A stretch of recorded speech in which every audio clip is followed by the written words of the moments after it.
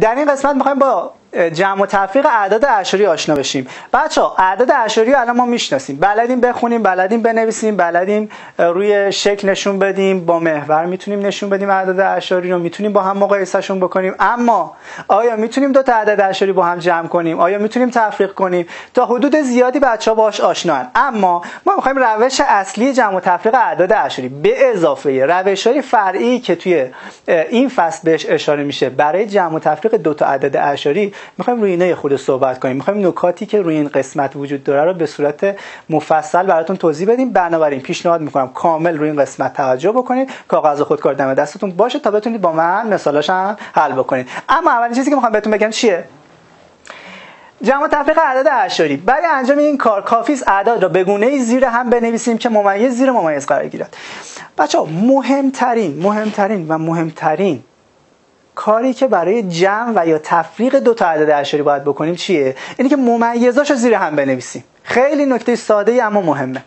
خیلی از دانش آموزا رو ما دیدیم. عدد اعشاری رو به صورت به قولی خیلی بی‌نظم می‌نویسن و اصلا ارقام زیر هم قرار نمی‌گیره ممیزا زیر هم قرار نمی‌گیره و طبیعتا بارها و بارها مشاهده کردیم حاصل جمعی که به دست میارن یا حاصل تفریقی که به دست میارن اصلا یه عدد اشتباهی میشه. بنابراین مهمترین نکته و ساده ترین نکته برای انجام جمع و یا تفریق عدد اعشاری اینه که ممیزها رو اول زیر هم قرار بدین. بریم سراغ مثال ببینیم چیکار باید بکنیم به عنوان مثال سه ممیز 61 صدم به اضافه دو ممیز 35 صدم. می‌خوایم دو تا عدد اعشاری با هم جمع بکنیم. اولین کاری که می‌کنیم چیه؟ و هم داریم سه تا ممیز رو زیر هم قرار میدیم. ارقاممون رو توش قرار میدیم. سه ممیز 61 اولین عدد منه که رقم به رقم قرار دادم با فاصله منظم خیلی مهمه. بچه ها رقماتون باید زیر رقم باشه. اول ممیز زیر ممیز قرار بدید بعد رقماتون دونه دونه باید زیر رقم بعدی باشه. دو ممیز 35 دو ممیز 35 هم اینجا قرار میدم. دیگه اینجا کار دیگه نداره. همین فقط نکتهش همین بود. دیگه جمع کردنش کاری نداره. جمعش چی میشه؟ یک به اضافه 5 6 6 به اضافه 3 9 3 به اضافه 2 5 شد چی؟ 5 ممیز 96 صدم به همین راحتی. بریم سراغ مثال بعد. 5 ممیز 86 صدم منهای 2 ممیز 15 صدم میام اول چیکار می‌کنیم؟ ممیزا رو می‌ذارم اینجا و بعدش عددا رو جاگذاری می‌کنم. 5 ممیز 86 2 ممیز 15 و حاصل. 6 منهای 5 1 8 منهای 7 8 منهای 1 7 و 5 منهای 2 3 حاصل من شد 3 ممیز 71 صدم به همین راحتی. درست شد. پس جمع و تفریق اعداد اعشاری رو ما به راحتی می‌تونیم به این روش انجام بدیم. اما یه نکته وجود داره. بچه نکته توجه کنید. اگر تعداد ارقام قسمت اعشاری اعداد با هم برابر نبود می توان با اضافه کردن صفر در سمت راست ارقام اعشاری تعداد آنها را یکسان کرد و جمع و تفریق را انجام داد.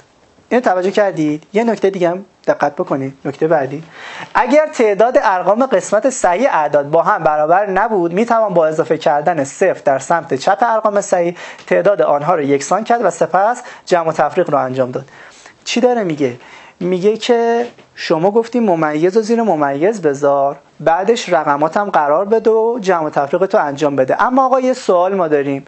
بعضی موقع سوال به ما میدن قسمت صحیحمون تعداد رقماش با هم فرق می‌کنه. قسمت اعشاریمون دو تا عددمون تعداد رقماش با هم فرق می‌کنه. اینجور جاها که می‌رسه ما یه خورده با مشکل مواجه میشیم. من بهشون چی میگم؟ میگم این دو تا نکته رو قشنگ توجه کنید توسط این دو تا نکته بتونید سوالاتون حل کنید بچه‌ها الان این دو تا نکته رو اگر می‌تونید دوباره با تو برای خودتون مرور بکنید بریم سراغ یه مثال. بریم این مثال رو با این نکته میشه حل کرد یا نه؟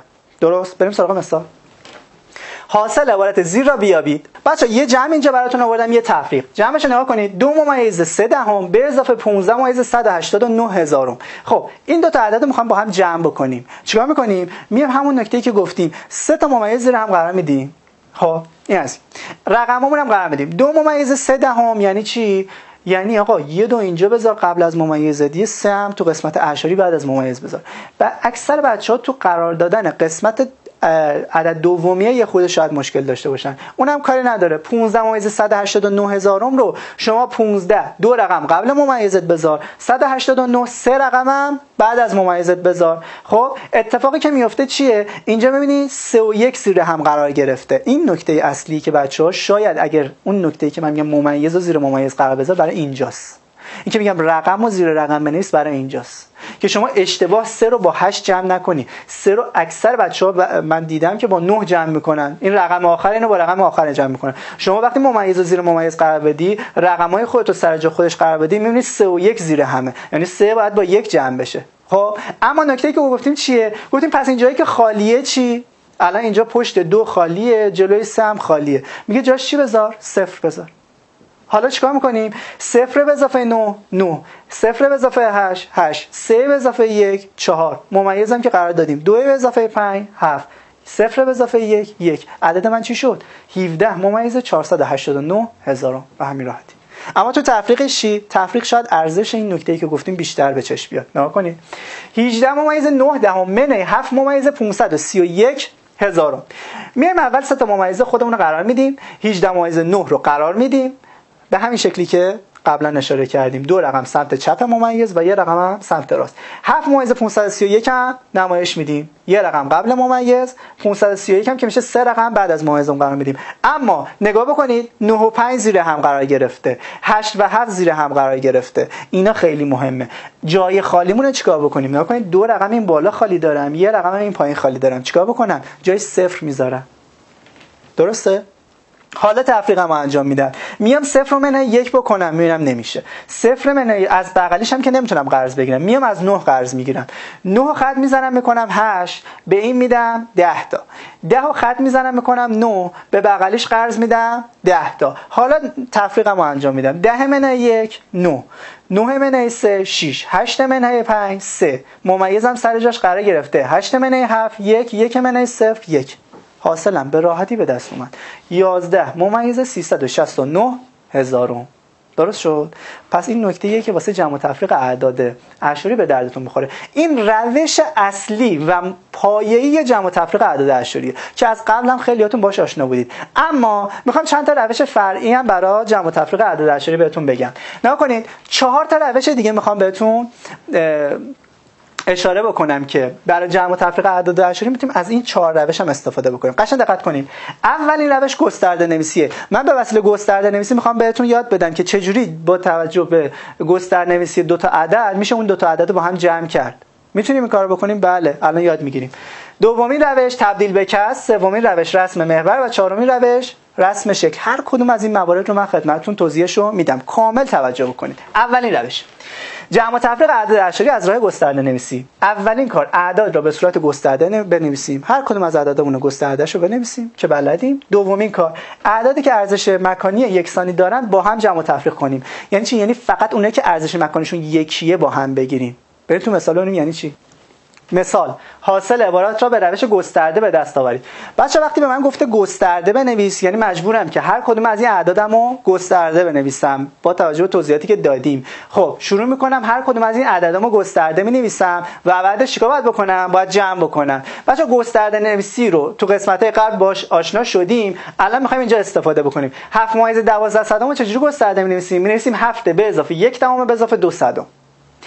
یک مایز 46 صدم رو چجوری گسترده نویسی می‌کنیم؟ یک به اضافه 4 دهم به اضافه 6 صدم قرار این دوتا رو با هم جمع بکنیم. پس چیکار می‌کنیم؟ مرتبه های یکسان رو با هم می‌گیریم. یعنی چی؟ یعنی هفت و یک رو با هم جمع می‌کنیم یک دهم و چهار دهم رو با هم جمع می‌کنیم و دو صدم و 6 صدم رو با هم جمع می‌کنیم. مراتب یکسان رو با هم جمع می‌کنیم. هفته به اضافه یک هشت.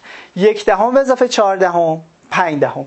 دو صدم به اضافه 6 صدم 8 صدم حالا جواب نهایی من چی میشه؟ 8 به اضافه 5 دهم به اضافه 8 صدم جواب کلی من میشه 8 مایز 50 و 8 صدم که این اصل قضیهش تو گسترده نویسی توضیح داده شده. تنها نکته ای که اینجا به دردمون می‌خوره چیه؟ اینکه مرتبه های یکسان رو با هم جمع و یا تفریق کنیم. تفریقش چجوری تو مثال پایین آوردن؟ 7 ممیز 52 صدم منهای 3 ممیز 41 صدم میام گسترده هر کدومش رو می‌نویسم. 7 به اضافه 5 دهم به اضافه 2 صدم.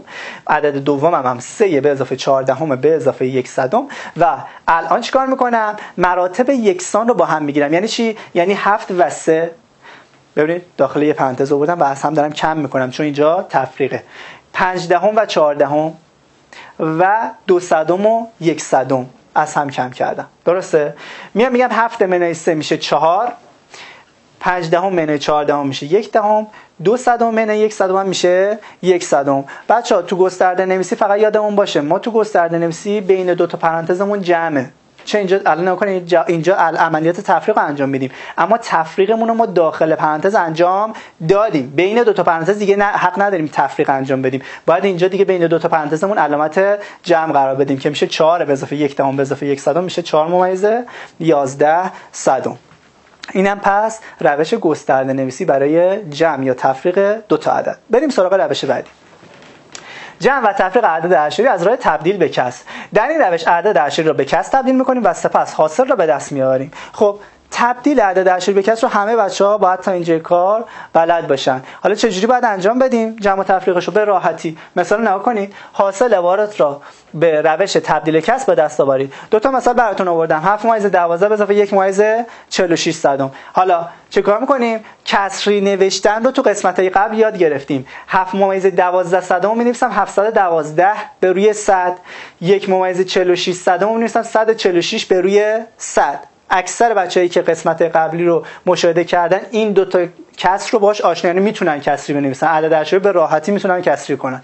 حالا دو تا عدد کسری رو چیکار می‌کنیم؟ جمع می‌کنیم. مخرجمون هم که مشترکه. جفتش 100 100 می‌نویسم. 712 به اضافه 146 میشه 858 اما عدد من چیه؟ هنوز کسریه. باید چیکارش کنم؟ اشاری می‌کنم. 858 صدم رو چجوری اشاری بنویسم؟ مرتبه من صدمه. چند رقم اشار داره؟ به تعداد صفر این. یعنی چی؟ یعنی دو رقم اشار داره. 858 رو می‌نویسم. دو رقم اشار بهش میدم یعنی ممیزمو می‌ذارم بین 8 و 5 درست شد؟ بریم مثال بعدی. 7 و نیم یا 7 و 5 دهم منهای 3 ممیز 16 صدم. میام می نویسم 75 دهم کسری نوشتم. 316 صدم. اینم کسری نوشتم. حالا آیا مخرج من مشترکه؟ نه. اینجا چیکار کنم؟ مخرج مشترک می‌گیرم. چه جوری اگه 10 و ضرب در 10 بکنی میشه 100 75 هم باید ضرب داره. 10 بکنی که بشه 750 750 صدم منش 316 صدم مخرجات یکیه. مخرج صدم می‌ذاری. 750 منش 316 میشه 434 پس یکی از روشهایی که ما می‌تونیم دو تا عدد اعشاری با هم جمع بکنیم یا از هم کم بکنیم تبدیل به کسره که دو تا عدد اعشاریمون به کسر تبدیل بکنیم. اینم یه روش دیگه. اما بریم سراغ جمع و تفریق عدد اعشاری از طریق محور. روش بعدی که می‌خوام بهتون بگم روش رسم محوره و سوالم روش مطرح میشه و بچه هم یه خود روش مشکل دارن. میان دو تا عدد اشاری به ما میدن میگن جمعش کنید. اما روی محورم نشون بدید. یا به روش مه... رسم محور به ما بگید چه جواب پیدا می‌کنه. نگاه بکنید. میگیم هر واحد محور را به اندازه آخرین مرتبه اعشار عدد تقسیم می‌کنیم و سپس روی محور حرکت می‌کنیم. بریم سراغ مثال. حاصل عبارات را به روش رسم محور به دست آورید. حالا تو این سوال به ما گفته محور رسم کنید. جواب جمع دو تا عدد اعشاری من رو محور به من بگید چی میشه. چیکار می‌کنیم؟ محورمون رو رسم می‌کنیم. هر واحدمون رو به ده قسمت تقسیم کردم. چرا؟ چون اینجا یک و دو دهم رقمش مرتبهش دهمه. دو سه دهم هم مرتبهش دهمه. یک و دو دهم چجوری نشون میدم؟ میام یک و دو دهم. یعنی چی؟ از صفر میام روی یک و دو دهم. دو سه دهم چیکار کنم؟ جمع بله. باید چیکار کنم؟ برم به سمت راست محورم. چون عملیاتم جمعه. چقدر برم؟ دو سه دهم. یعنی چی؟ یعنی 23 دهم. بچه نها کنید خونه من که ده تاییه. بنابراین همین عددی که می‌بینید بدون ممیزش 23 تا. یعنی 23 تا باید برید جلو. 23 واحد کوچیک باید برید جلو. چجوری میریم؟ 23 تا بریم می‌رسیم به عدد 3 و 5 دهم یا 3 و نیم. جواب منم برابر با 3 و نیم میشه. درسته؟ روش رسم محور ما رو توی قسمت کسر هم گفته بودیم. خیلی از نکاتش اونجا گفته شده. بچه‌ای که یه خود مشکل دارن اون قسمت رو مشاهده بکنن این قسمت براشون بسیار راحت میشه. مثلا دوم هم نگاه بکنیم. دو نیم منهای یک و چهاردهم میایم محورمون رو نشون میدیم. میایم میگیم دو نیم به اندازه محور من که 10 تایی تقسیم شده. به اندازه 25 تا میرم جلو. به این بدون ممیزش. به اندازه 25 تا میرم جلو. می‌خورم به دو و نیم. و بعدش به اندازه 14 تا برمیگردم عقب. می‌خورم به کجا؟ یک و یک دهم جواب منم میشه؟ یک و یک دهم. درست شد؟ پس شما کاری که می‌کنید به اندازه آخرین مرتبهش تقسیم بندی بکنید یعنی دهمه شما به ده قسمت تقسیم کنید در واحد و بعدش بدون در نظر گرفتن ممیزش حرکت کنید. اگه یک و دو دهمه دوازده تا برید جلو. دو سه دهمه 23 تا برید جلو. اگه دو نیم می‌خوای نشون بدی 25 تا برو جلو. اگه یک و چهار دهم می‌خوای برگردی عقب 14 تا برگرد عقب. چون واحدات به صورت اتوماتیک 10 تا 10 تا تقسیم شده و شما رو به جواب خواهد رسوند. خب. اما جمع و تفریق اعداد اعشاری از طریق رسم شکل. روش دیگه که می‌خوایم واسه جمع و تفریق اعداد اعشاری بگیم به شما چیه؟ رسم شکله. یعنی می‌خوایم بگیم که آقا چه جوری می‌تونیم دو تا عدد اعشاری رو رو شکل نشون بدیم که جمعش چی میشه؟ یا رو شکل نشون بدیم تفریقش چی میشه؟ چه جوری؟ نکنیم ابتدا واحدی مناسب رو برای رسم شکل مشخص می‌کنیم. سپس جمع و تفریق رو انجام می‌دهیم. میگه اول واحدتون رو مشخص کنید. همون کاری که واسه رسم شکل ما گفتیم انجام بدید. اول واحدتون رو مشخص کنید بعدش جمع و تفریق رو انجام بدید. نکنید مثال حاصل عبارات رو به روش رسم رسم شکل به دست آورید. اومده گفته یک و دو دهم به اضافه دو و سه دهم. خب بچه نها کنید واحد استاندارد من. من بعد واسه رسم شکل قبلا بهتون گفتم. یه واحد استاندارد یه شاخص یه چیزی که واحدی باشه برای کل شکل رسم شکل من. ما باید اون یه واحد رو مشخص کنم. واحد من چیه؟ مرتبه آخر اشاری من. نکنید این دهمه اینم دهمه. پس واحد شاخص من واحد استاندارد من یه شکل دهتاییه. یعنی چی؟ یه شکل دهتایی. میگم آقا من بر اساس این شکل دهتایی می‌خوام شکل بکشم. میام دو یک و دو دهم نشون میدم. قبلا اشاره کردیم چجوری رسم شکل رو انجام بدید یک و دو دهم میشه یه دونه واحدم و دو دهمش دو تا واحد کوچیک. یعنی دو تا خونه. این میشه یک و دو دهم. دو سه دهم یعنی دو تا. از واحدهای کاملم به اضافه سه تا خونه کوچیک که میشه دو سه دهم. حالا این دوتا رو چجوری با هم جمع کنم میگم دو تا کامل که اینجا دارم. یه دونم کامل اینجا دارم. میشه چند تا؟ میشه سه تا کامل. خورده چند تا دارم؟ یک دو سه چهار پنج. میام رسم می‌کنم. یک دو سه. سه تا کامل. یک دو سه چهار پنج. پنج تا واحد تک یا تک قسمتی که میشه جواب من سه و پنج دهم. درسته؟ چون واحد من ده تایی بود. اینم مرتبهش دهمه. شکل بعدی نگاه کنید. سه و نیم منهای یک و سه دهم. میام. میگم مرتبه آخر دو تا عدد من دهمه. پس شکل استاندارد من باید ده تایی باشه. میام میگم اینم شکل ده تایی یه خدچی می‌ذارم. میگم حالا من می‌خوام عملیاتم انجام بدم. سه و نیم می‌خوام بکشم. بچه ها اونایی که تمرین تو خونه انجام دادن حتما می‌تونن اینو چجوری باید نمایش بدین سه و نیم میشه سه تا شکل خودم سه تا از این ده تایی ها به اضافه 5 تا تک خونه. یک دو سه چهار پنج تا. این میشه سه و یک و سه دهم میشه چی؟ میشه یه دونه از این شکل ده تاییم به اضافه سه تا تک خونه. اما نمی‌خوام جمعش کنم. می‌خوام چیکار کنم؟ تفریق کنم. میام شروع می‌کنم اول این سه تا تک خونه رو اینجا ضرب در می‌زنم. یه دونه دو تا سه تا. تفریق رو ما تو قسمت کسری هم گفتیم که چجوری وقتی می‌خوایم تفریق بکنیم شکلا رو دیگه اضافه نمی‌کنیم. روش ضرب در می‌زنیم. یعنی از بین می‌بریم. یعنی ازش کم می‌کنیم. سه تا خونه کوچیک رو از بین بردم. یه دونه از این دستایی ده تایی من باید خط بزنم. اینم از بین می‌برم. چی میمونه؟ یکی دو تا. یعنی دو تا دسته کامل. به اضافه چند تا خورده؟ یک دو. میشه چی؟ دو و دو دهم.